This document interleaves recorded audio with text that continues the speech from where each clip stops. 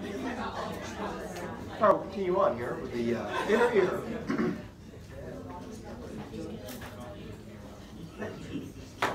so this is kind of showing you how it's associated inside the temporal bone. Uh, here's a picture. You're in the petrous region of the temporal bone. Get another pin here.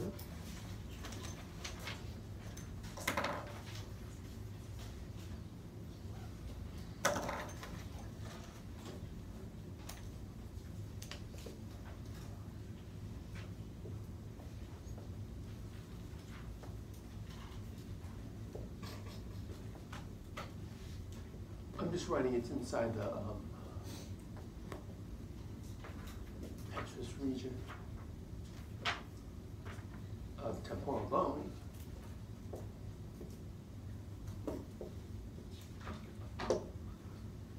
Let's remember that the inner ear is associated with cranial nerve 8, the vestibulocochlear nerve, if you kind of dig out part of the petrous region where the cranial nerve is, right there, there's the internal acoustic meatus, and you can see the cochlea in that picture.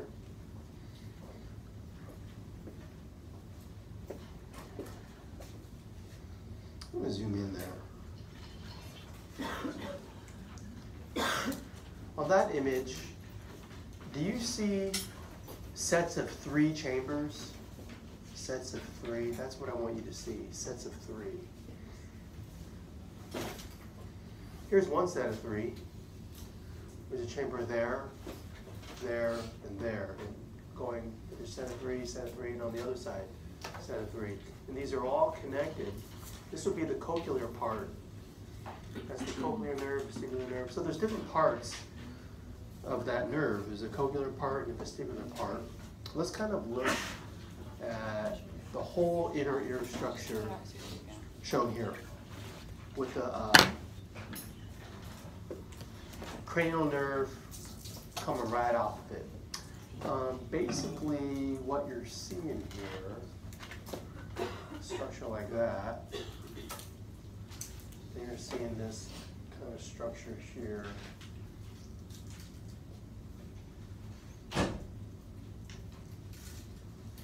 The basic parts of um, the inner ear organ are the cochlea.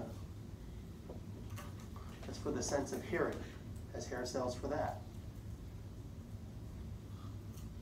This middle part here is called the vestibule.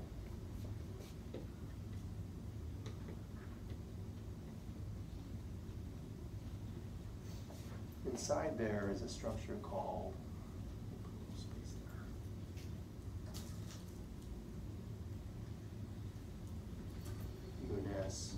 Within the vestibule is the utricle saccule.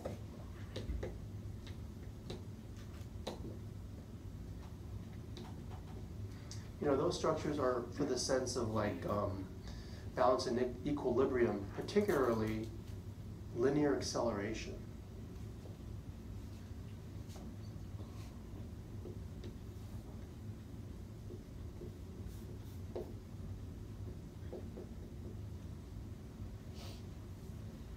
Like when you go from, you know, 30 to 70 in your car merging on the freeway, you feel that increase in acceleration in a linear direction. Now you have three semicircular canals in different planes of space, in three-dimensional space.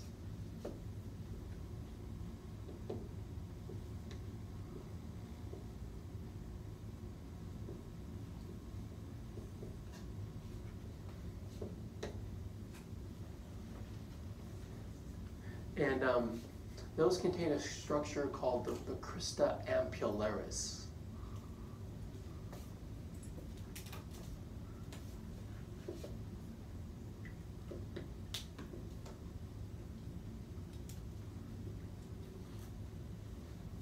And those are good for, they're fluid filled, all these are. They're, they're good for sensing like a rotational acceleration.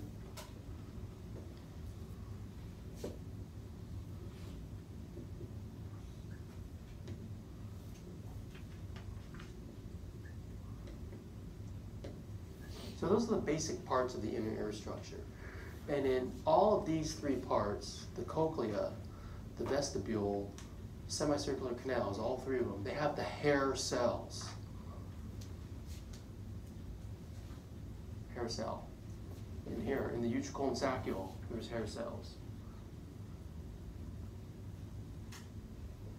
And then the semicircular canals at the base, I'll show you later, there's hair cells. So that, that's the cell I gotta talk about for all these different sensations.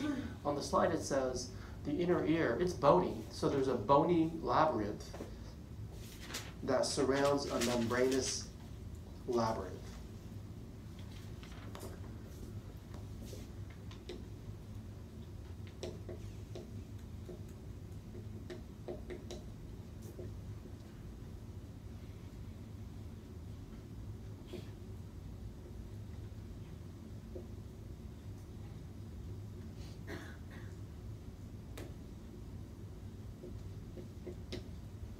Basically what you got there. Now, if I could simplify this com complicated inner ear organ, um, well, let's look, go to the next slide.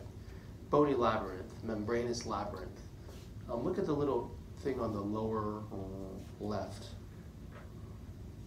If you could simplify the inner ear structure to a simple tube, and then cut the tube and look at it, all you would have is like bone on the outside, surrounded by another membrane-filled chamber. Call that bone on the outside. Call that membrane.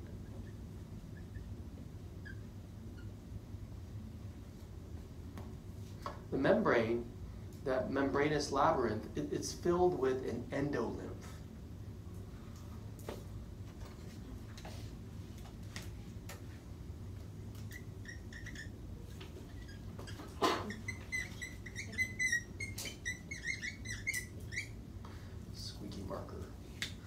bony labyrinth is filled with a perilymph, another kind of fluid.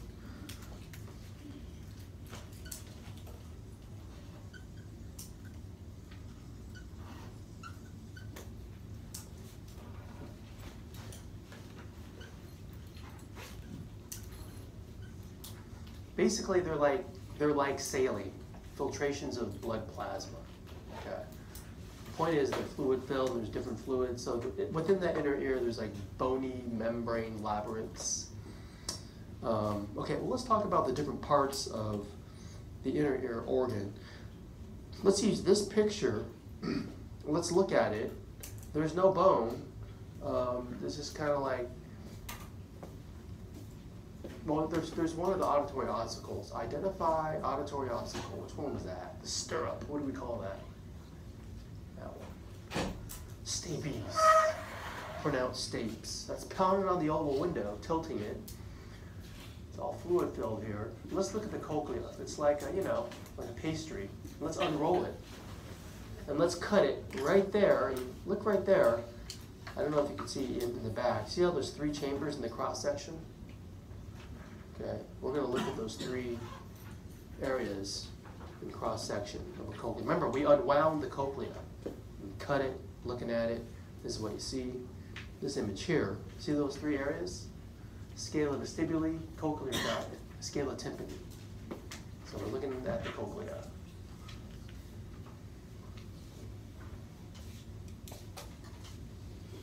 So you just un unwound the, the Cinnabon thing and just cut it, right? That's exactly what you did to get this view.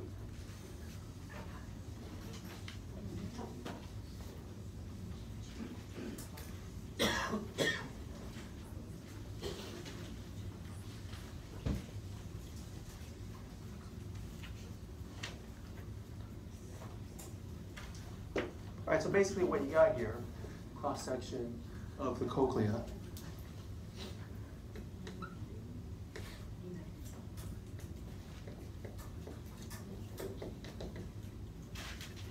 You have um, different different um,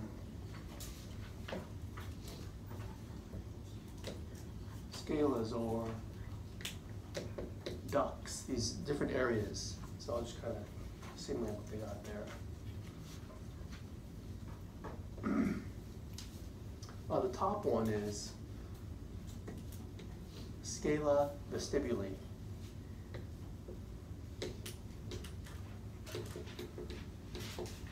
Also called the vestibular duct.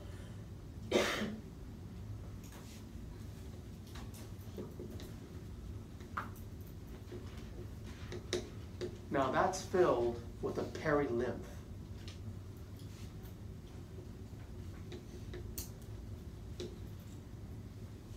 I'll do top and bottom first. Well, let's go in order. Okay, cochlear duct. Okay, that's the middle one, also called scala, um, scala media. Scala media or cochlear duct. That's filled with an endolymph. That, this one's important, the cochlear duct. It's got the hair cells.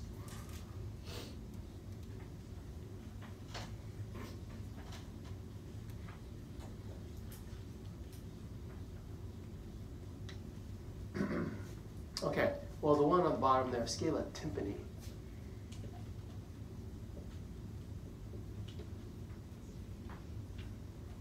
the whole thing in there. Scala tympani, and scala tympani also called um, tympanic duct.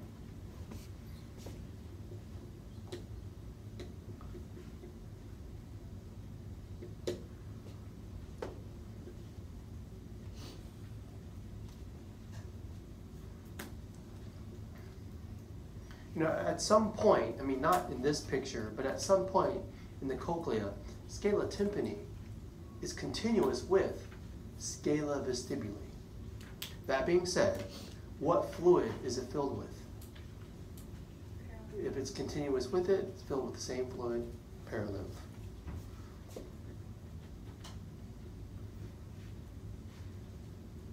Okay, well that's basically what you got there. And well, let's kind of look at the cochlear duct scala media.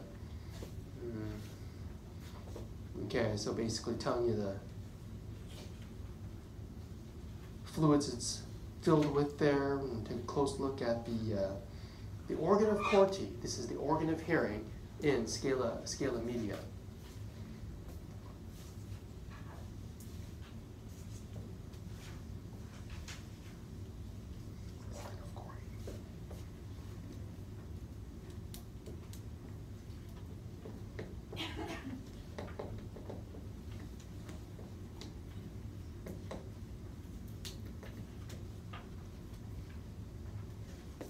organ of corti, corti organ of hearing. we got the hair cells.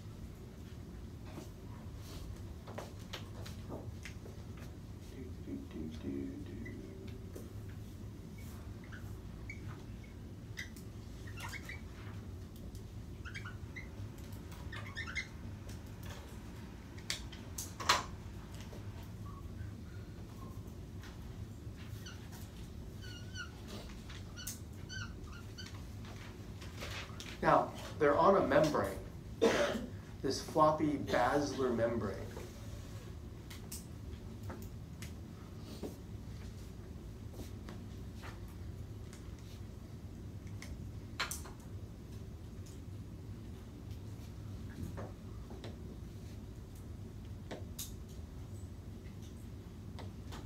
Consider that membrane part of the organ of Corti, you got the hair cells. There's like these outer ones and then these inner ones. The inner ones, I guess, are more important. They're, they basically transmit about 95% of hearing. Okay, something like that. That's what the books say.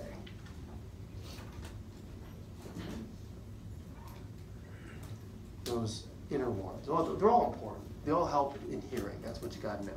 They're covered on top with a very stiff tectorial membrane.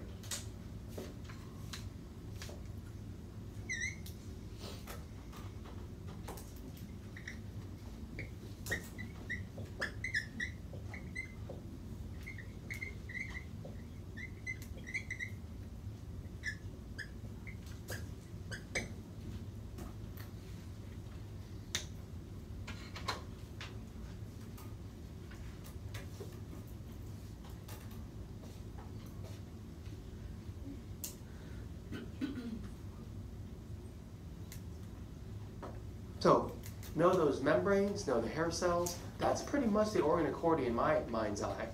Two membranes, hair cells, like a hair cell sandwich. Okay, those are important. Organ accordion. Here's a nice picture of the hair cells, scanning electron microscopy. Got about 3,500 inner hair cells, the purple one on my drawing. Here's all the outer ones. Inner hair cells transduce 95% of the sound, whereas um, the active movements of the outer hair cells, they kind of amplify the signal, so they're important. Something like 16,000 of the outer hair cells. We're not seeing the whole cell. We're just seeing the hair. They're hairy in appearance. Okay, so let's kind of talk about how these hair cells work in the organ of Corti. First, let's review what I talked about before about sound wave energy, because it's going to deflect basilar membrane. The basilar membrane is less stiff.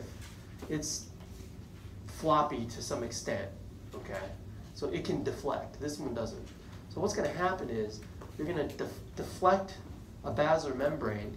And wherever you deflect it, it's going to move hair cells.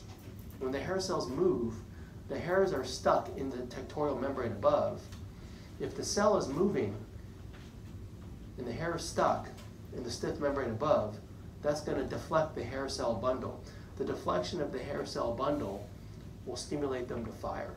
That's what makes the cochlear nerve fire. And you hear, you perceive it as hearing, as sound. All right, so here's what I talked about earlier, right? About pitch discrimination versus amplitude and loudness.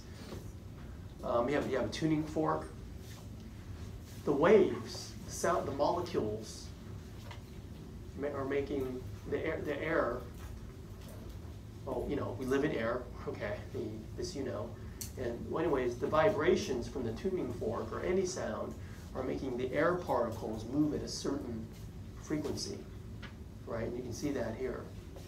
And um, the shorter the wavelength, the higher the pitch. I said this earlier. The, long, the longer the wavelength, low pitch, kind of bass, more bassy, less trebly. Loudness is simply the amplitude. Okay, so the blue larger amplitude wave is, is perceived as being louder. So that's sound wave energy. And if we kind of map that out onto how it affects the, the cochlea, here's a cochlea. Remember, cochlea is normally spiraled up. They, they unwound it here. Okay, so here's what we got, the whole cochlea. So let's look at this, not as a cross-sectional view, but as a longitudinal view. Okay.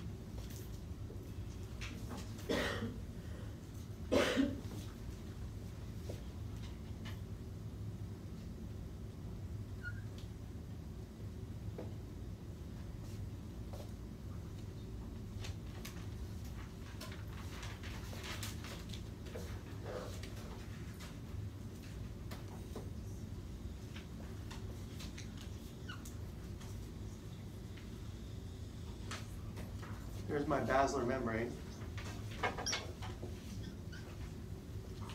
I'll draw some hair cells on it.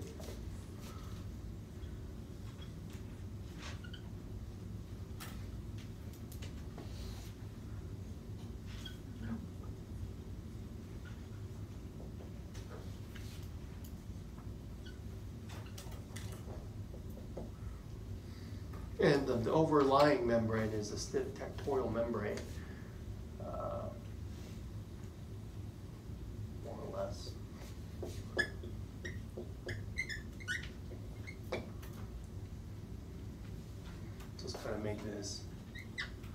This is my SM, my scala media, containing the hair cells. I mean, I'm not drawing it exactly anatomically correct, so don't roast me. Uh, but you get the idea. So if that's SM, what's, what's the topple? Scala vestibuli, Yeah. And then ST, scala tympani. So remember I said how scala vestibuli is continuous with scale the tympani? See at the end? Goes like that. So they are connected. Um, okay, the oval window is right there. So pretend this is a window that Stapes is hammering on. Here's the footplate of Stapes.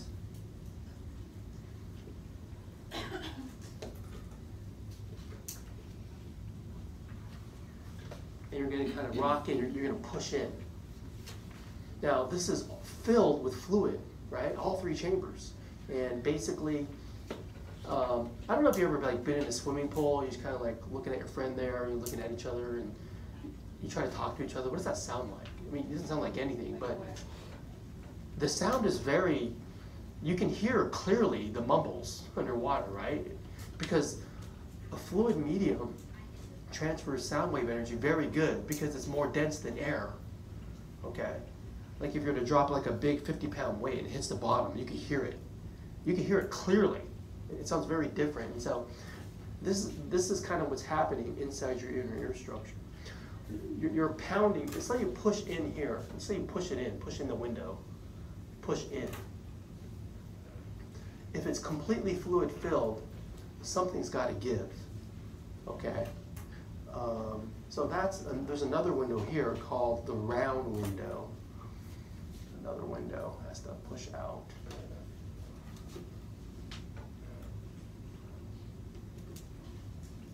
The round window, I remember my professor called it, it's like a doormat. it's just something that absorbs the sound wave energy at the end. Okay, if you push in here and it's completely fillet filled, you got to push out there. Does that make sense? Okay, that's just now you're pushing in and pushing out at a certain frequency. So you're not just pushing in once. It's like it's like you ever twang a rubber band? It's like that. It's like it's literally like that. Okay. Now the question is, so you got these windows.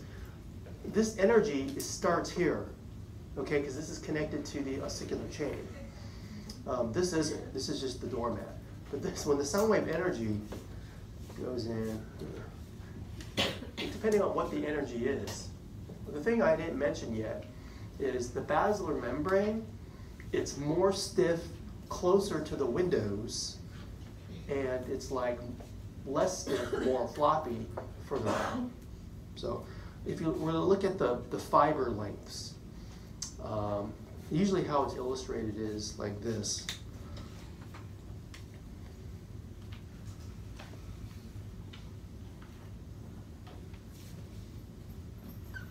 Me exaggerate that more.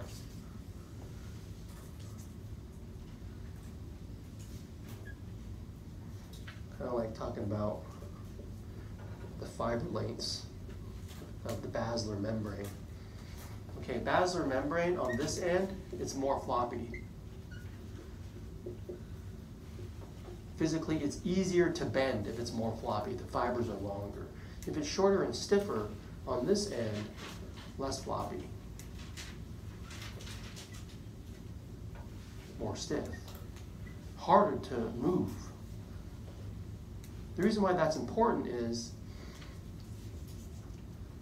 think about that. Here's the question Does it take more or less sound wave energy to move on this end if it's more floppy? More or less energy? Less energy. Okay? It takes more energy to move it here. The reason why that's important is you want to deflect the basilar membrane at a certain point. So let's say there's enough sound wave energy, let's say like that middle number there, 5,000 hertz. No, that's a 6, 6,000 hertz. So let's say you're listening to something that's at that, at that pitch. This is pitch discrimination. These here treble, these here mid-range, these here bass.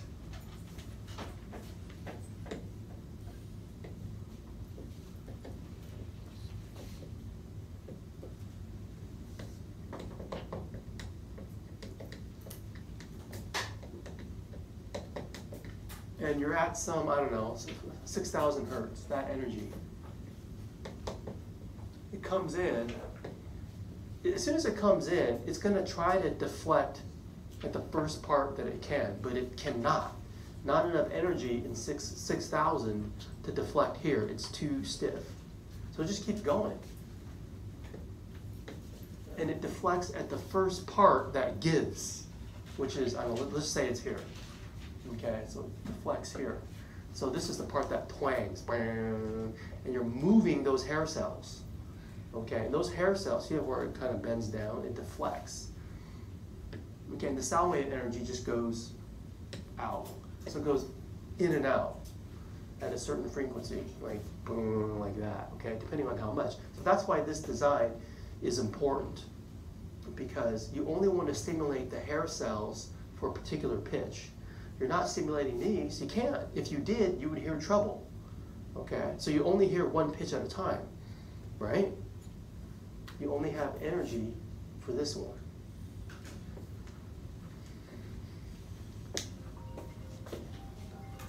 see, let me show you something here.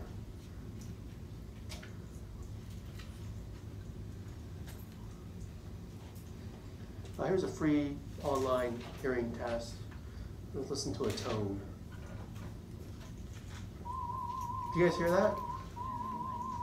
That's 1,000. So 1,000 is like way down here. That's what 1,000 sounds like. You're stimulating hair cells over here. Let me turn that down.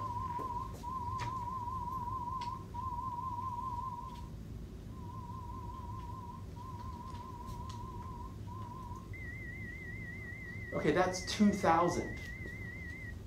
Is that more or less energy? Is 2,000 more or less energy than 1,000? 1,000, 2,000. What has more energy? 2,000. 2,000 has more energy. So that sound is traveling less far. Okay, maybe 1,000 went down to here. Where's 2,000 going to go and deflect? Sooner, maybe here.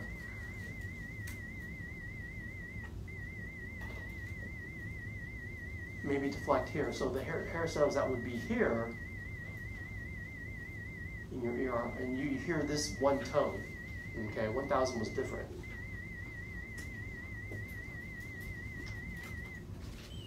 Okay, that's 3000. All right, so where are you stimulating now? More to the left or more to the right? More to the left. All right, a higher pitch is now I can deflect the stiffer ones. I deflect at the first place I can.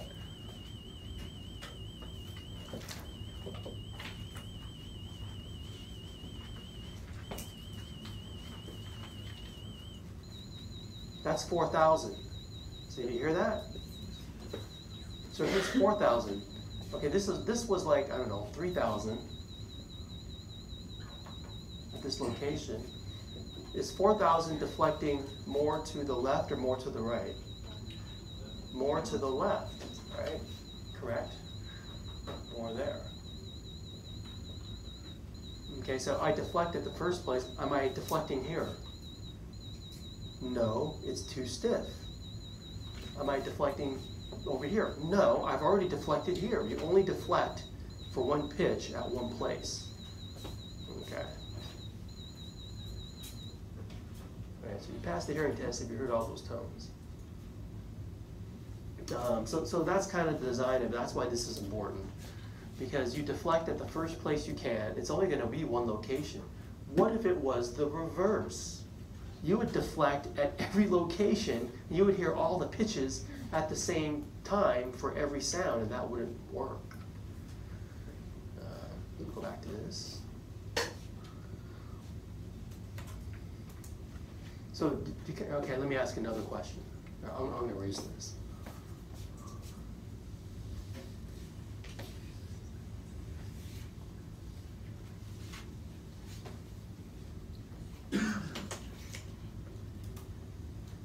What if the sound wave travels like this?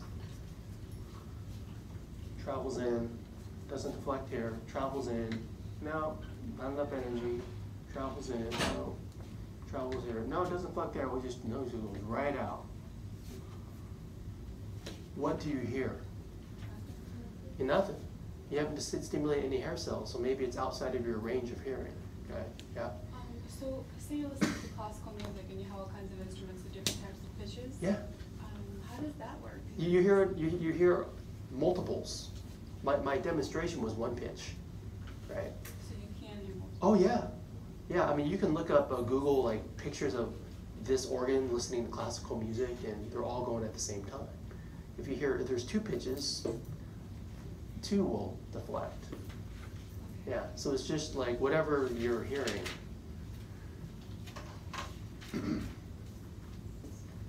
Yeah, there's that old thing. Um, what's the thing? If if a tree falls in the forest, but no one's there to hear it, does it make a sound? What's the answer?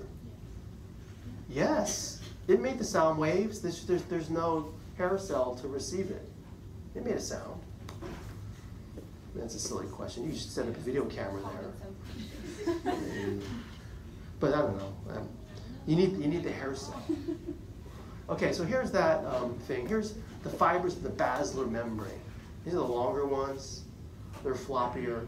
The hair cells that are here, what do they sense? Treble or bass? The bass. The ones that are more stiff need more energy to deflect them. That, that's the trouble. So here's high frequency. You deflect it sooner, mid-range, bass down here. If it went all the way around, you wouldn't hear anything. Okay, identify this scala. Media. Scala media. What's the top one? Scala vestibuli. What's the bottom one? Scala tympani. Good, starting to click. What window is under the footplate of stapes? There's round and oval. Which one is it? Oval. Oval. Remember that. That's the that's the one. Oval window.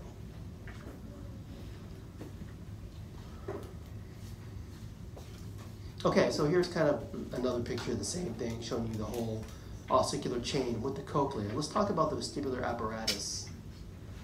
So that was hearing, that was pitch discrimination. We're going to do um, balance and equilibrium.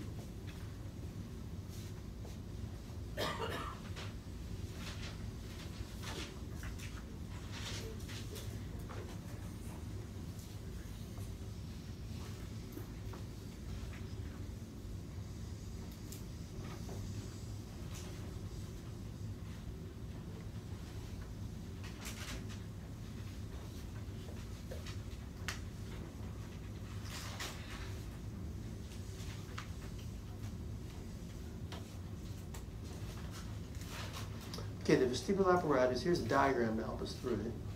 I drew it out before. It's the utricle and the saccule, um, since linear acceleration, it's already in your notes, but here's what we're looking at. You have to go inside the vestibule to see the U and the S, the utricle, saccule. The M is the sense organ with what kind of cell? Hair cell. Those are the ones. Macula's got it. There's a picture of what macula looks like inside the vestibule. Um, yeah.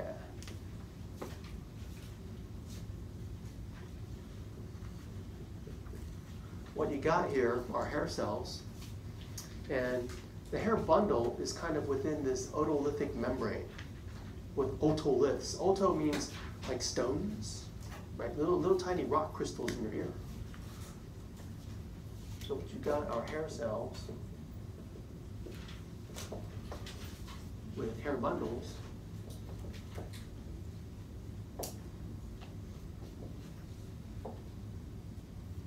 Embedded in an otolith membrane.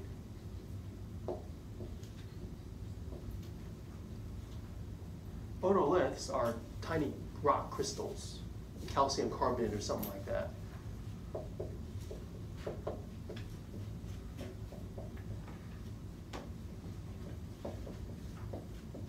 They're crystals in your ear. They move inside your head, and when they move, they move that membrane and stimulate the hair cells.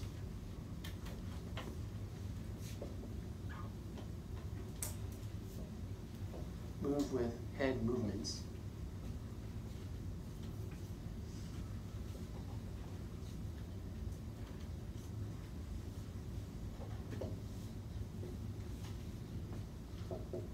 And stimulates the hair cells.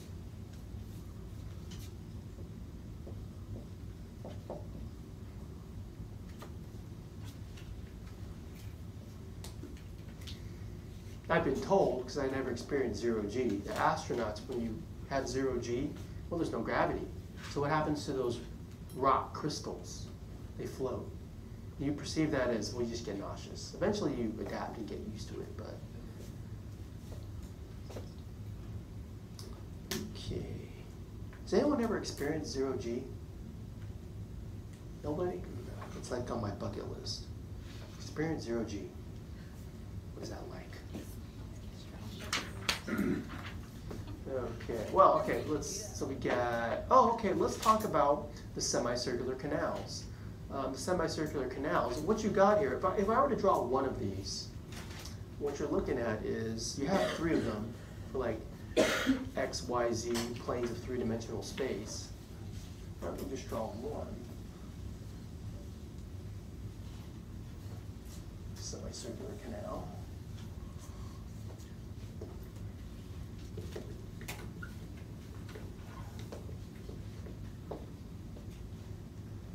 pretty much that. That's one semicircular canal. Um, at the base is the ampulla,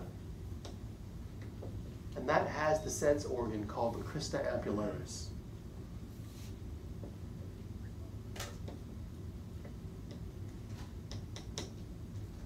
Crista ampullaris has the hair cell. Okay. Um, now, because that canal is a semicircle and there's fluid in it, pretty much you can only stimulate the hair cells, which are in here, when the fluid moves. So you can only move that fluid if it's in a circle, if you spin around in a circle. Okay, this is not linear acceleration. This senses the rotational acceleration. Here's what it looks like in the base in the ampulla. So what you've got there is cupula with hair cells. The crista ampullaris is the row of cells that have the hair cells in it hooked up to cranial nerve 8. Uh, the cupula is kind of like, um, reminds me of a lava lamp. It's just a gelatinous structure that will, when it moves, the hair cells move with it to give you a sense of rotational acceleration. This, this is one, this is why I know I cannot be an astronaut. I cannot handle this. I go on like a merry-go-round or the teacups, I, I want to get off. I'm going to puke. I can't, I don't know why, I can't handle it. I'm such a wimp when it comes to those kind of little kiddie rides. I can handle roller coasters, no problem, the linear acceleration, but this one, I, I lose my mind. I try to hide it from my kids, only you guys know. They don't know what petrifies me to this rotational acceleration, but this is what we're talking about here. So there's the hair cell. Let's talk about um, the hair cells, the, the hairs themselves.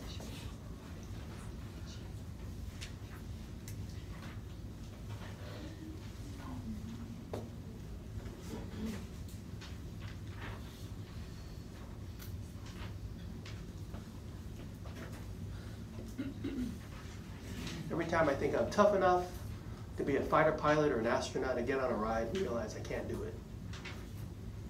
Bodies are subjected to remarkable g-forces to be able to handle a lot without passing out. Um, okay, the big hair cell is called the kinocilium. That's important.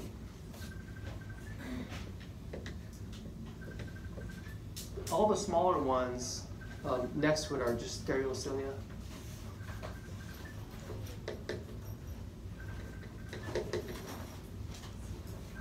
And um, it's a stimulation of this hair bundle that will, someone have the phone? Okay. Someone, um,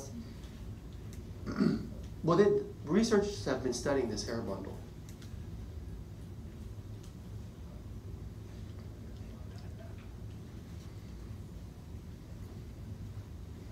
Look at the picture here.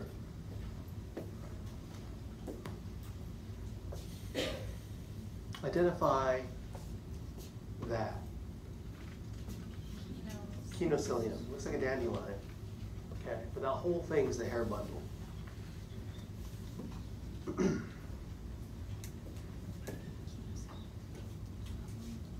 uh, some of the researchers that researchers that have looked at the, the hair bundles or the mechanotransduction of the hair cells, or Hudspeth and Corey, this work was done in the 70s, they found that the, the hair bundle is directional sensitive.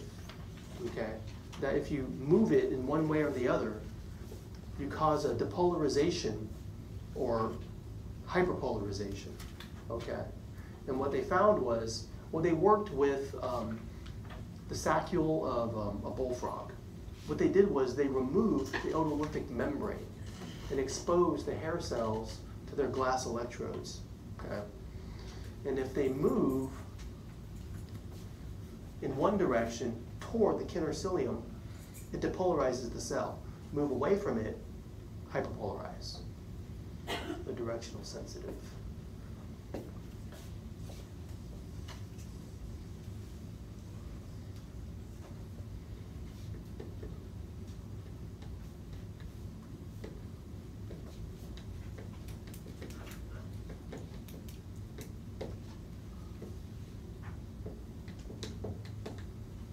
Are directional sensitive. Um, so if you move in this direction, wiggle it this way um, toward the kinocilium, that tends to cause a dipole. If you move it the other way, causes a hyperpolarization.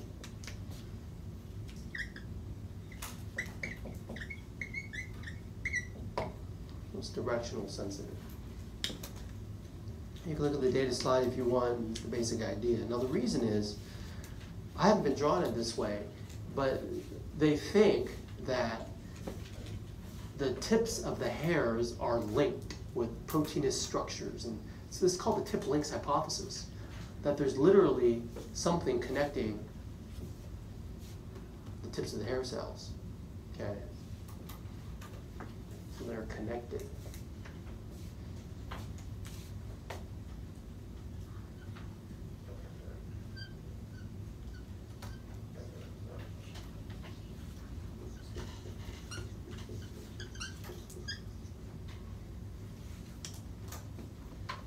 So the hypothesis is, tip links hypothesis is, if you move toward the direction of the big hair, the kinocilium, you stretch the tip links, that causes the excitation. And if you're moving it the other way, when the tip links are slackened, that causes the inhibition. Okay, so that's, that's the hypothesis.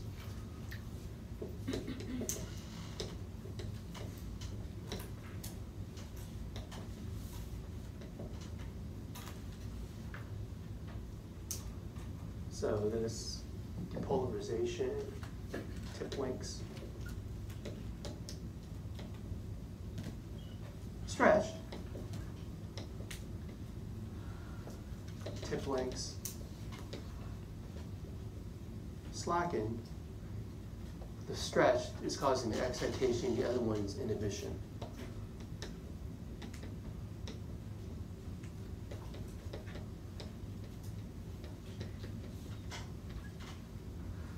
So cells, the hair bundle, directional sensitive. So for example, here's a picture of um, the otolithic membrane. If you tilt your head one way versus the other way, you get a dipole hyperpolarization. Um, they show a picture of an otolith sliding across the hair cell bundle to stimulate it. Okay. The other one, that, that's for linear acceleration. This is a semicircular canal. Look at the figure skater. so obviously, what kind of acceleration is that? When you spin, middle frame, then stop spinning. Um, you know, the fluid, like for example, um, when you spin, then stop, like, you know, fluid has an inertia. So if I move my water bottle that way, the fluid inside swishes when I stop, when I decelerate, okay? So inside the semicircular canal, when you stop spinning around in a circle, when you're ice skating, the fluid inside will then deflect. Okay. As you're spinning, of course, you sense that it'll move it one way, and then when you stop, moves it the other way. And this is, well, you know what that feels like. Spin around in your chair, then stop. Okay? And it doesn't matter which way you spin, left or right? No. It's just gonna be the same? Yeah. Yeah, they just stimulate different hair cells. Um, so this is why this is called balance and equilibrium. You ever do that? We always do that at parties at barbecues where you put your hand on the knob end of a baseball bat and you spin around a bunch of times. Did you ever play that? And you try to run straight and it's hilarious because you can't do it. You just run off to the side because your balance and equilibrium is whacked out. Okay, you just overstimulated it. Um, all right, that concludes the last slide of your last lecture for 4:30. Good job for sitting through that. Keep yourself a hand because you got some tests to take. Um, so, you- um, you know, we're done. You can stay here and study. Um, I'm here to help you. But the next thing we got are two dissections. Before you leave, if you're gonna leave, what, what is the start time for our dissections on Monday? Eight o'clock. Okay, we'll start a little later, give me time to set up and be dressed for lab. Remember, eye protection and gloves for these dissections. Um, I'll see you then. And did you say we're, we'll probably be done by like ten? Um, oh, let me see. Let's stop this.